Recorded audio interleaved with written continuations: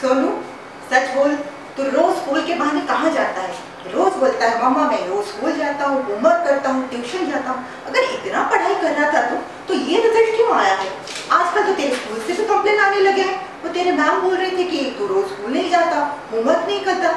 सच बोल, कहाँ जाता है तू? किससे मिलता है? आने दे आज तेरे पापा को सब बताती